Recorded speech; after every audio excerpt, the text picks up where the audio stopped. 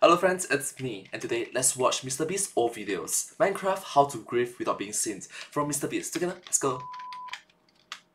Hey there, random person. I'm, Hey there, random person! Hello.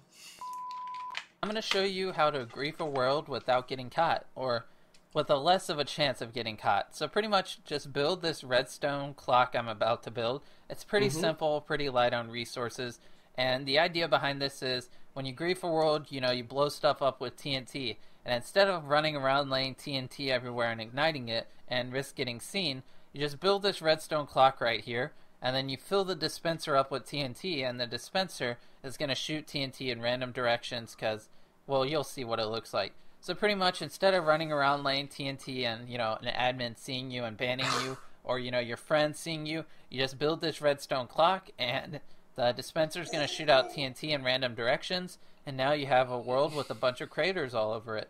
Um, yeah, that's pretty much it. If you want to grief and try not to get caught, this is a cool way because you're not actually laying the TNT; it's getting shot out by the dispenser, and it leaves random craters everywhere.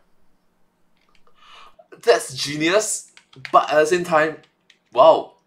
Wow. That prank on your friend, your friend is gonna be so angry.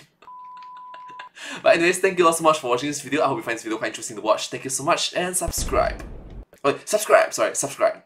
Subscribe? Yeah, subscribe.